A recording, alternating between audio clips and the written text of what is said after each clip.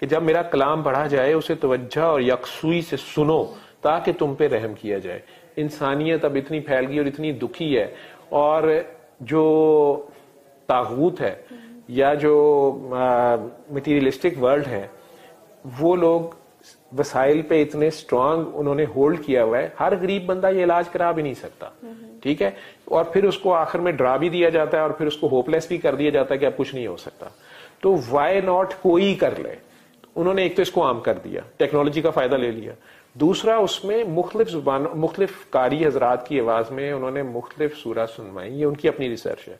मुख्तलिफ़ हॉस्पिटल्स में जा जाके पहले। लेकिन सूरा रहमान एक तो फकीर अपना राज नहीं देता ना अपनी ज़िंदगी में उसने कोई दावा नहीं करना होता। मेरे से वैसे अपनी एक हालत में उन्होंने कहा कि बाबा किसी हालत में तीन दिन पड़ा था कोई होश नहीं थी तो कानों में ये कारी बासित की आवाज़ की सूरा रहमान बार बार आती थी।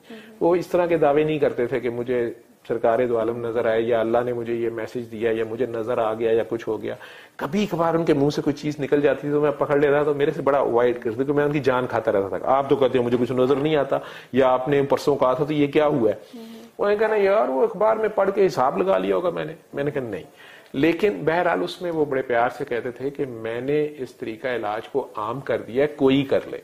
सलामकुम जी, मेरा नाम अदनार रशीद है। बारह साल पहले मैं बहुत गुस्से वाला था।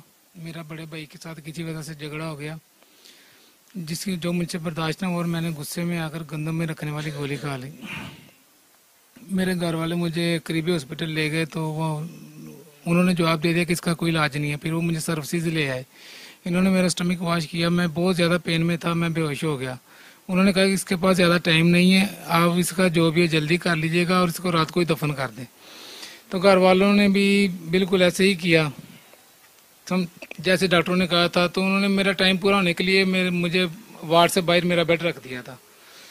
तो वो टाइम गुजरता गया जो उन्होंने टाइम पीरियड दिया था। अगले दिन सुबह डॉक्टर साहब को उधर से गुजर हुआ। डॉक्टर साहब ने मुझे देखा और मेरे कज़न से पूछा भी इससे क्या मसला है? ये इतना यंग बच्चा इधर क्यों पड़ा है? इसका इलाज यहाँ ट्रीटमेंट क्यों नहीं कर रहे? तो मेरे कज़न ने बताया कि जी, इसने गंदम में रखने वाली गोली खाई है और डॉक्टरों ने कहा कि इसके पास ज़्यादा टाइम नहीं है। तो डॉक्टर साहब ने फिर मेरे कज़न से बात की और मेरी वालदा को बुलाकर दुआ कराई।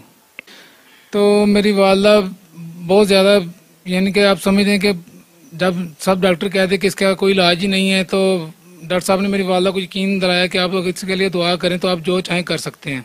अल्लाह आपकी मोड़ नहीं सकता। तो वो एक बहुत मुश्किल मेरी वालदा के लिए पोजीशन थी। तो मेरी वालदा ने दुआ की, और सात दिन मुझे भी सूर्य रहमान सुनाई गई। मेरे सारे खानदान ने सात दिन सूर्य रहमान सुनी मेरे लिए। सात दिनों के अंदर कई मरतबा मुझे बिजली के तीन मरतबा बिजली के झटके लगाए गए, मेरा स्टमक वॉश किया गया। कई मरतबा ऐसी पोजिशन हुई कि जैसे मैं अब ख़त्म हुआ, अब ख़त्म हुआ। लेकिन जैसे सात दिन पूरे हुए, मैंने अपनी आँखें खोल दी। अस्सलाम वालेकुम, मेरा नाम नजमा है। बाय प्रोफेशन है, मैं डॉक्टर और मेरा इंट्रोडक्शन सूर्य रहमान थेरेपी से दो साल पहले हुआ था। जब मेरे अबू को एडिनोकार्सिनोमा ऑफ़ प्रोस्टेट डायग्नोज हुआ था। That was at the last stage और उसकी ट्रीटमेंट मेडिकली कहीं भी नहीं थी. And I am searching for a treatment कि इसकी कोई क्योर हो. Uh, इस दौरान जहाँ भी पता चल रहा था कि कोई है कहीं हम जा सकते हैं. Uh, जैसे हकीमों के पास वहाँ भी गए वहाँ भी रिफ्यूज़ल था. Uh, uh, जो भी पढ़ाइयाँ की उसके बावजूद अबू की तबीयत बहुत ज़्यादा ख़राब हो रही थी. और आखिर में uh, खाना पीना और uh, सब कुछ अबू का बंद हो गया था। और जो कीम अबू फिट नहीं थे फॉर कीमोथेरेपी रेडियोथेरेपी और स्टेज फोर की कोई ट्रीटमेंट होती नहीं है। तो ऐसे ही सर्च करते हुए सर का इंटरव्यू चला फॉर सूर्य रहमान के, सूर्य रहमान से इलाज होता है। फिर हम आए और सिंपली एक दुआ की जिसमें यही था कि आप आँखें बंद करें, अल्लाह के सामने खुद को पेश करें। सबको माफ़ करें, अपनी गलतियों की भी माफ़ी मांगें और सबके लिए वैसे ही दुआ करें जैसे आप अपने लिए दुआ करते हैं। वो दो मिनट की दुआ थी और उसी दौरान अबू बिल्कुल ठीक हो गए क्योंकि जिस हालत में मैं अबू को लेके आई थी और जो दुआ के बाद की कंडीशन थी दैट वाज टोटली चेंज्ड वो बहुत ज़्यादा खुश भी थे और जो पेन उनको हो रहा था, जो बोन्स में मेट्स चले गए थे, उसकी वजह से जो पेन था वो उससे भी रिलीफ हो गए थे और उस रात वो बिल्कुल ठीक सोए। मेरी अम्मी भी बहुत बीमार हुई थी और मेरी अम्मी को भी सांस की तकलीफ़ हो रही थी। तो उसके बाद हमने भी बहुत ज़्यादा मेरी अम्मी को इलाज भी इलाज भी करवाया। तो लेकिन शिफा नहीं हुई।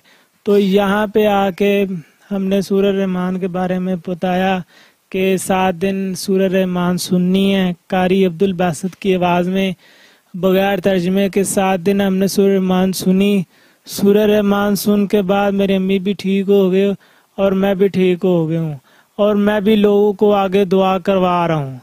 वो आगे दुआ करवाता रहूँ।